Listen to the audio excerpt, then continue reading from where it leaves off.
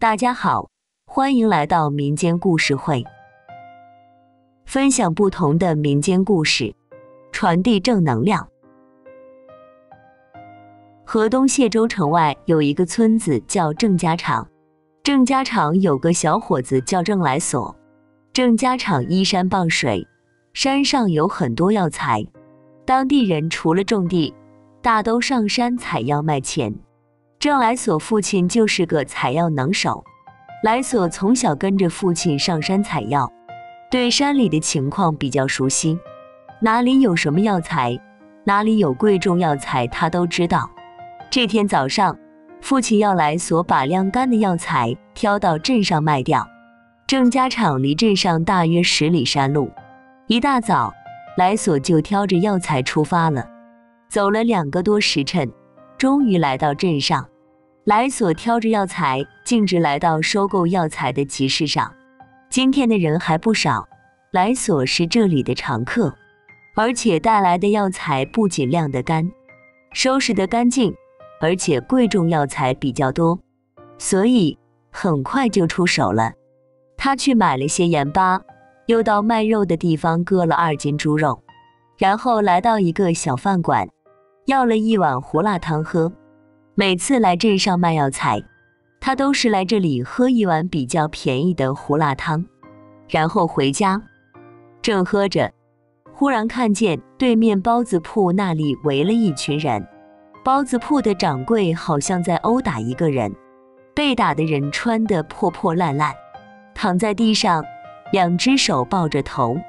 这年头讨饭的乞丐比较多。尤其是饭店、包子店里更多，脏兮兮、手乱摸不说，还趁掌柜不注意偷了包子就跑。莱索正想着，却见那个被打的人爬起来往这边跑来，包子铺掌柜在后面追着打。当被打的人跑近了，莱索才发现原来是个女乞丐。包子铺掌柜追上女乞丐，一手抓住女乞丐的胳膊，一只手不停的打。边打边说：“我叫你再来偷包子，这掌柜也是的，这年头也是饿极了才偷你包子吃，撵走就是了，还追着打，何况人家还是个女的。”于是就上前挡住包子铺掌柜的手，说：“打几下也就算了，让人家走吧。你说的轻巧，他天天来我店里偷包子，我还怎么做生意？你是他什么人？”管得着吗？有本事你把包子钱掏了。包子铺掌柜说：“郑来所说，他偷你包子肯定不对。你做生意不容易，我也理解。但他也是饿极了才偷，发现撵走就是了。这样追着打也不合适，是吧？这样吧，他偷了你几个包子，我把钱掏了，你放他走吧。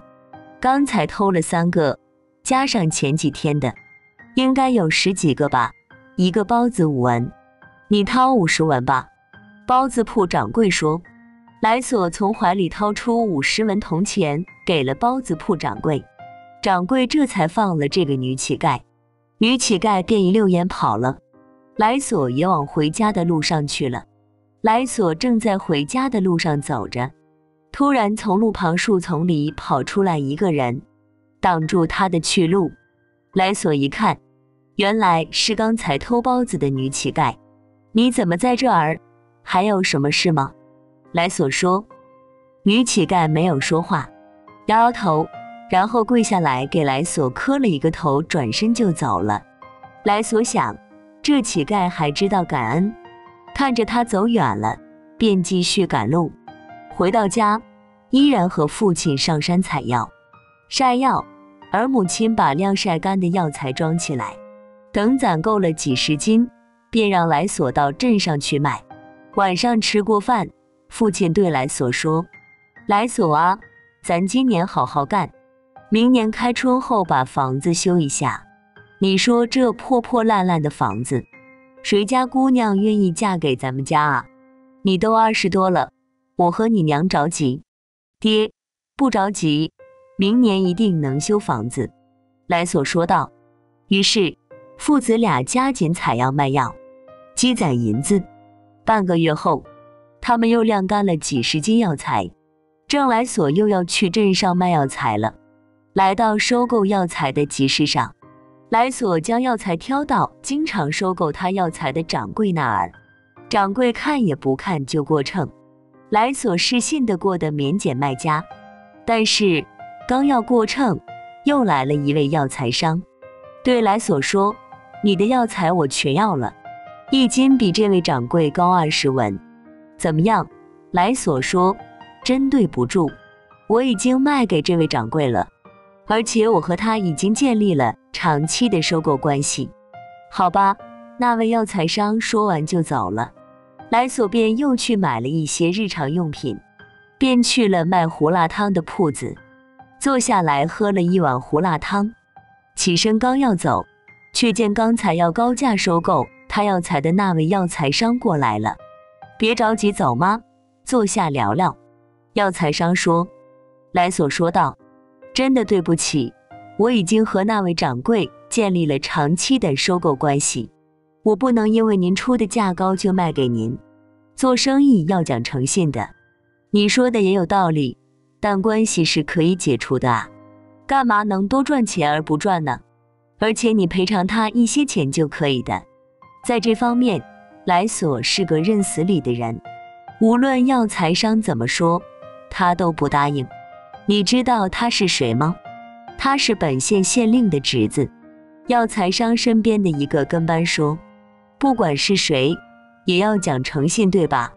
莱索说道：“好，好，好，讲诚信，讲诚信，咱们后会有期。”药材商说完就走了。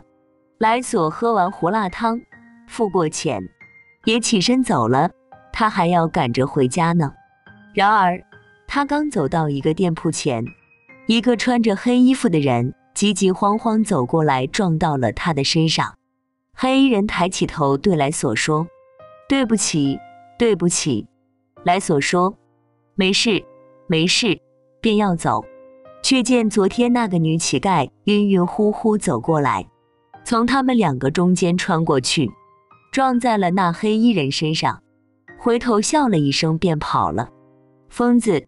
黑衣人骂了一声，便急急慌慌走了。莱索望着那消失了的女乞丐，摇摇头，也往回家的路上走了。然而，当他又走到昨天碰见女乞丐的地方，那个女乞丐又突然从路边树丛里走出来，将一个布包给了他，就转身走了。这不是他的钱袋子吗？怎么在他的手上？他突然想起刚才那一幕。心里就明白了，原来刚才那个撞他的黑衣人是个小偷，趁撞他的时候偷走了他的钱袋子。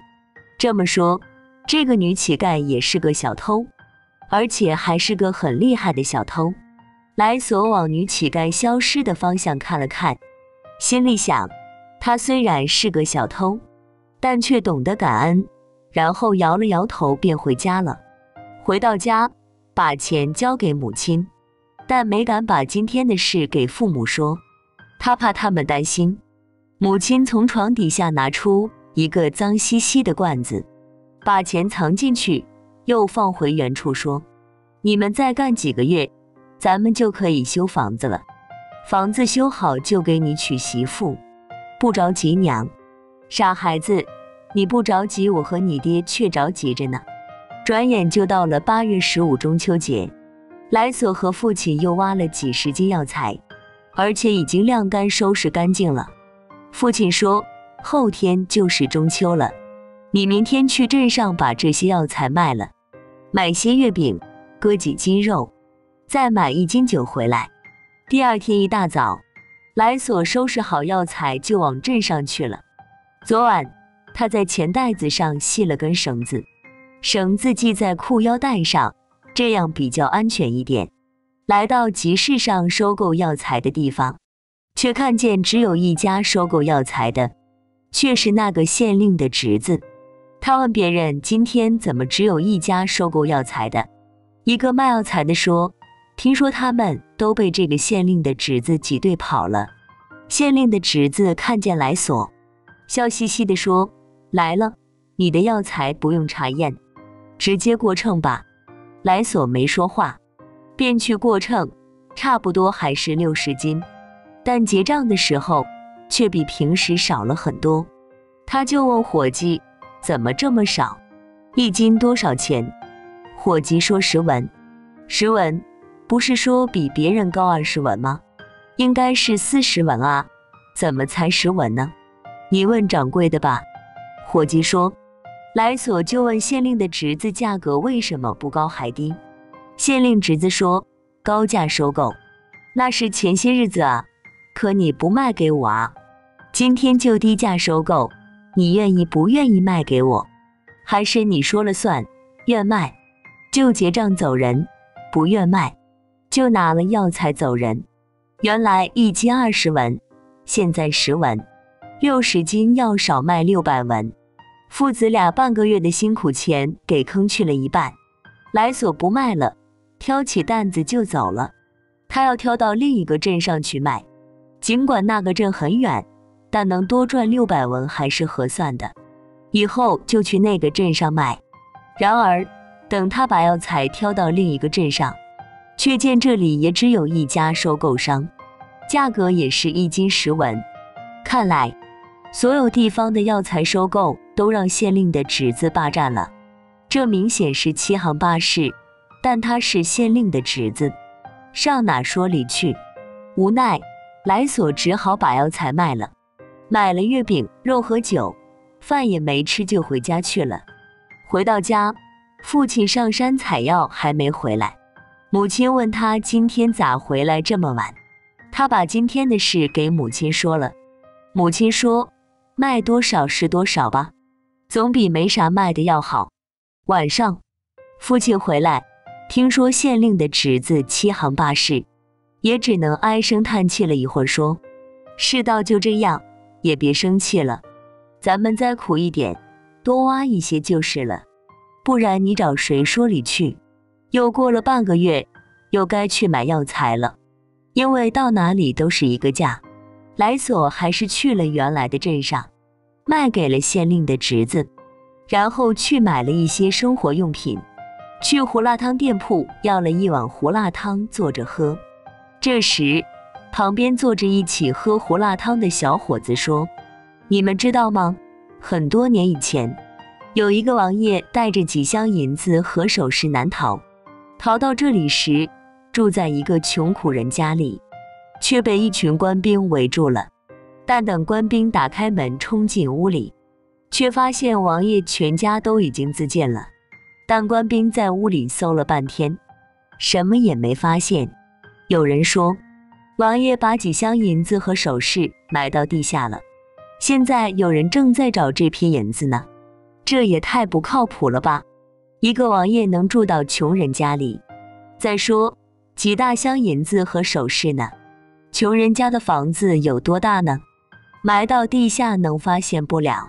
另一个喝胡辣汤的小伙子说：“我也是听说的呢，你信不信拉倒，都是些无聊的故事。”来索喝完胡辣汤，付了钱，便往回家的路上走。走出这条胡同，就是通往郑家场的路。这时，突然看见那个女乞丐往胡同里跑过来。后面有一个人在追。当女乞丐经过他身边时，他将女乞丐拉进一个没人住的房子里。当追赶女乞丐的人跑过去，他们才出来。那人为啥追你？是不是又偷别人吃的了？来所问女乞丐。女乞丐摇摇头，没说话。来所从钱袋子里拿出一百文铜钱给女乞丐，说：“饿了买点吃的，别去偷了。”女乞丐没有要钱，只弯腰给来所施了个礼便走了。奇怪，难道他是个哑巴？怎么一直不说话？来所心里想着，便出了胡同，往回家的路去了。回到家，母亲对来所说：“所啊，娘托媒人给你说了一家姑娘，明儿个去见个面，没什么就把亲事定了。你爹说明年开春就可以修房子了。”修好房子就给你成亲。来所说好。第二日，媒人带着来所去相亲。来所跟着媒人来到媒人家里。媒人说：“你先在这里等着，我去叫姑娘过来。”过了一会儿，媒人领着一个姑娘进来，说：“你们谈，我出去办点事。”姑娘虽然不是很漂亮，但还算周正，来所心里也就愿意。他知道自己家穷，说媳妇不能挑三拣四，差不多就好，只要孝顺父母就行。来所是个内性人，平时就不爱说话，在姑娘面前更是难以出语，所以两个人都不说话，气氛就有点尴尬。这时，女的看了来所一眼。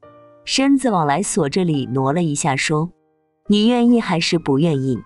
来所脸红的点点头，头也不敢抬，却见姑娘又往他身边挪了过来，几乎挨在他身上。来所便往这边挪了一下：“怎么？你不是说愿意吗？干嘛躲我？”姑娘说：“莱索不知道该说什么，但心里想，头次见面。”一个大姑娘怎么能这样？看来是个不检点的当女人，便站起身来说：“我走了。”说完便出门走了。路上碰上媒人，媒人问：“怎么就走了？你看姑娘怎么样？”莱索说：“不怎么样。”说完就走了。此后再也没去相过亲。转眼已经过完年，到了开春。来所父亲说。修房子的钱也攒得差不多了，过几天就请匠人来修房子。来所母亲说，眼看就要修房子了，可这媳妇还没个影。来所你也别挑三拣四的了，过日子嘛，差不多就行。我再托媒人找找。到了冬天，山上就去的少了，所以来索和父亲一个冬天才挖了几十斤。来索要把这些药材拿到集市上卖了。来到集市收购药材的地方，过完秤，拿了钱，就往胡辣汤铺子去。来到店铺，要了一碗胡辣汤，坐着喝。喝完胡辣汤，来索便起身走出胡辣汤铺子，往那个胡同里走去。刚走进胡同不远，女乞丐突然冒出来对他说：“快带我去你家。”你不是哑巴，来索道，你才是哑巴呢！别说了，快带我回你家。女乞丐说：“你去我家干嘛？到现在我都不知道你叫啥，哪里人，为啥成了乞丐？”来索道：“现在没时间，过后我给你细说。”女乞丐道。于是莱索也不问了，带着女乞丐一路赶回家。回到家。母亲见儿子带回来一个穿得破破烂烂的姑娘，便问这姑娘是谁。儿子说：“以后给您说，我们现在有事要谈。”母亲就不问了。儿子大了，有自己的事要做了。莱索把女乞丐带到自己房间，说：“现在你说吧，到底什么事？”女乞丐拿出一张图，说：“你大概也听说过。”那个亲王带几大箱银子难逃的事吧？那不是传说，而是真事。这就是他藏银子的秘密地方的图纸。那你是怎么得到这图纸的呢？来索问道。女乞丐说：“我叫何玉兰，家在县城。五岁时父母都去世了，我没有兄弟姐妹，也就没了家，便到处流浪。后来被一个老人收留了。”老人是个惯偷，技术很高，但他有个原则，只偷官员富家，当然饿了也会去饭馆偷吃的。他教会了我很多技术，临死的时候把这张图纸给了我，说这是他师傅传给他的。按照这张图纸，能找到当年那个亲王埋藏的几大箱银子和首饰，但他老了，不中用了。所以把图给我，希望我能够找到这些银子。